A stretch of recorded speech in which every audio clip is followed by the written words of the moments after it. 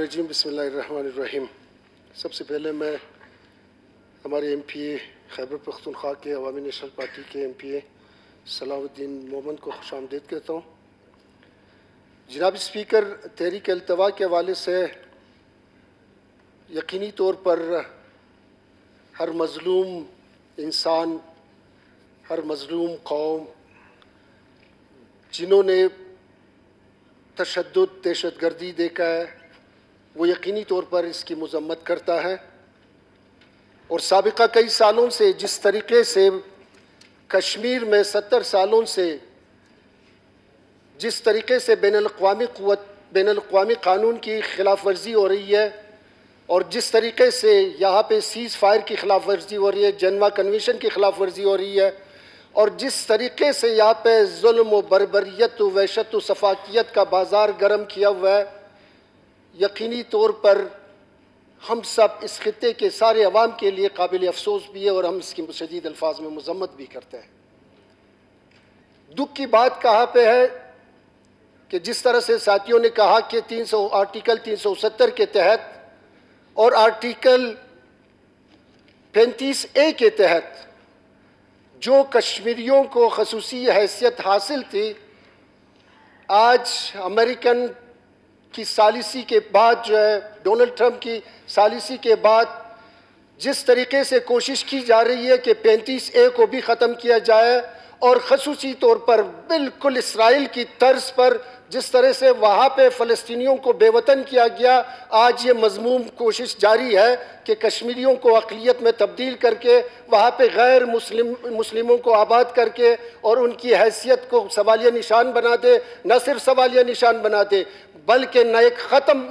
نہ ختم ہونے والی دشمنیاں پیدا کر دے۔ وہاں کے رہنے والوں کو، غیر مسلموں کو آباد کر کے ایک سول وار، ایک خانہ جنگی کی کیفیت پیدا کرے اور ایک دور رس نتائج کے حامل جو ہے، وہ اپنی مفادات حاصل کر سکے۔ اس لیے انڈیا کے حوالے سے میں نے پہلے بھی کہا تھا، اس فلور بھی بھی کہا تھا کہ جس جنونی کو لایا ہوا ہے اور جس جنونیت سے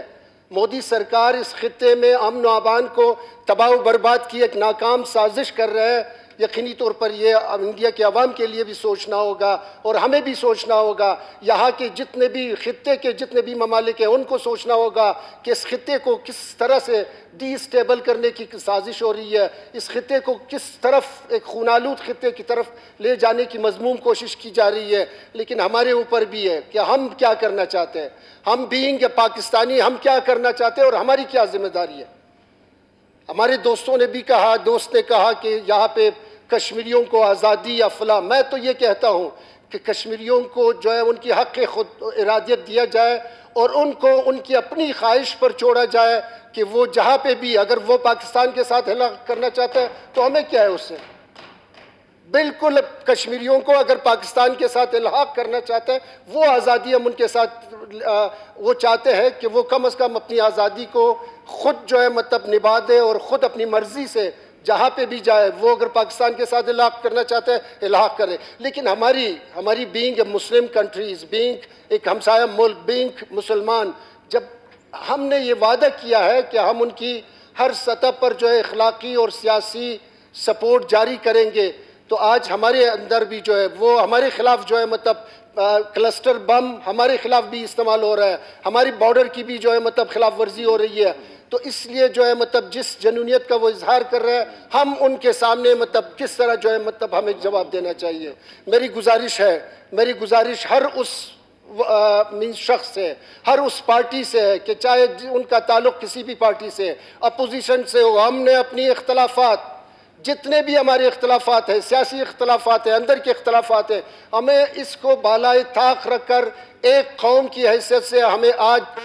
دنیا کو یہ باور کرانا ہے اور بین الاقوامی سطح پر اپنی کیس کو مضبوط کرنا ہے اور دنیا کو بین الاقوامی قوتوں کو جو ہے اس ظلم جبر بربریت اور ان کی جنونیت کی طرف جو ہے مائل کرنا ہے اور ان کو جو ہے مطلب قائل کرنا ہے کہ اس خطے کو ڈی اسٹیبلائز کرنے کے لیے انڈیا ایک مضموم سازش کر رہا ہے، جن کے اثرات نہ صرف اس خطے پر پڑے گا بلکہ پوری دنیا پر پڑے گا۔ تھینک یو ویری مچ شکریہ، عبدالخالق ہزارہ